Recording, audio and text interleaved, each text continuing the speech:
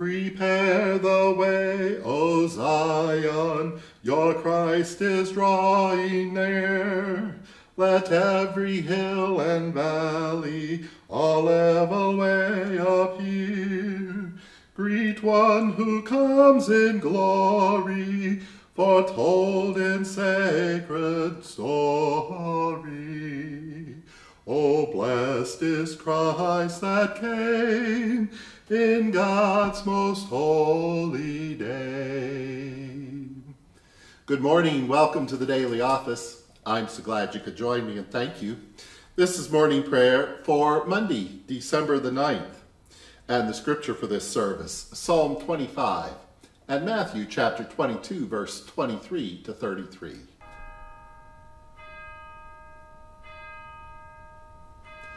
Open my lips, my mouth shall declare your praise.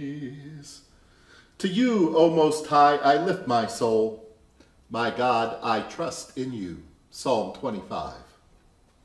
To you, O Most High, I lift my soul. My God, I trust in you. Let me not be ashamed, and do not let my enemies triumph over me. Let none that wait on you be disappointed, but only they which transgress without cause. Show me your ways, O Most High, and teach me your paths. Lead me in your truth and teach me, for you are my salvation, and on you I wait all the day. Remember your tender mercies and your loving kindnesses, for they are everlasting. Forget the sins of my youth and my transgressions. In your love remember me, for your goodness' sake. You are good and upright. You show sinners the path. You guide the humble in judgment, and you teach the poor your way. Your paths are mercy and truth to such as keep your covenant decrees. For your mercy's sake, pardon my iniquity, for it is great. Those who fear you shall be taught the path they should choose. They shall dwell in happiness, and their children shall inherit the earth. Your secret is with them that fear you, and they will see your covenant. My eyes are always on you. You pluck my feet out of the net. Turn to me and have mercy, for I am desolate and afflicted.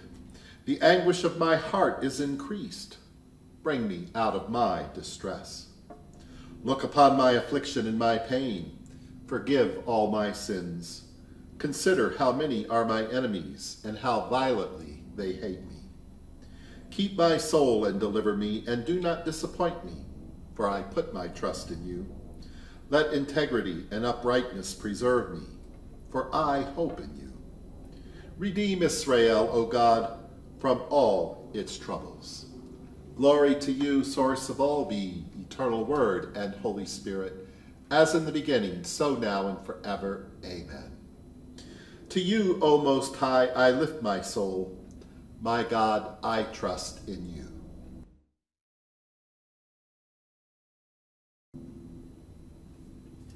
The lesson is from the Holy Gospel according to Matthew, chapter 22, beginning at verse 23. That same day, some Sadducees came to Jesus, saying, There is no resurrection. And they asked him a question, saying, Teacher, Moses said, If a man dies childless, his brother shall marry the widow and raise up children for his brother. Now there were seven brothers among us. The first married and died childless, leaving the widow to his brother. The second did the same, and so also the third, down to the seventh. Last of all, the woman herself died. In the resurrection, then, whose wife of the seven will she be? For all of them had married her. And Jesus answered them, You are wrong, because you know neither the Scriptures nor the power of God. For in the resurrection they neither marry nor are given in marriage, but are like angels in heaven. And as for the resurrection of the dead, have you not read what was said to you by God? I am the God of Abraham, the God of Isaac, the God of Jacob. He is God not of the dead, but of the living.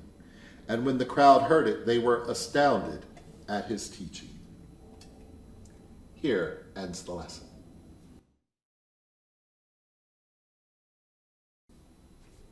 Now let us offer our prayers and petitions. Defend us, O God, and we shall shout for joy, for we put our trust in you. O merciful God, teach us your ways, and keep us from all sin today. Save your people and bless your inheritance. Feed us and lift us up forever.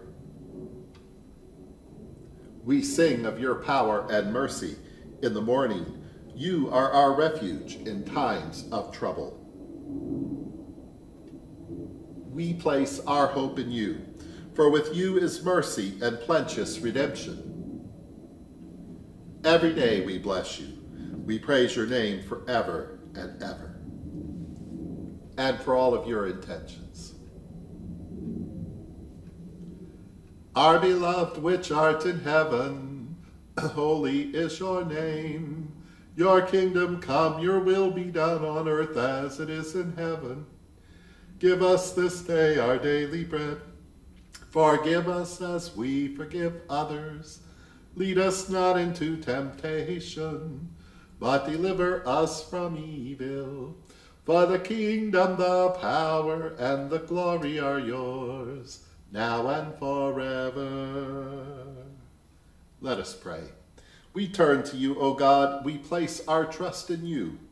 Lead us along your paths and teach us your ways. In Jesus' name we pray. Amen.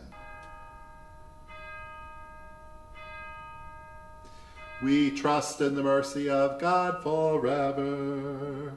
And glory to God, whose power working in us can do infinitely more than we can ask or imagine. Glory to God from generation to generation, in the church and in Christ Jesus, now and forever. Amen.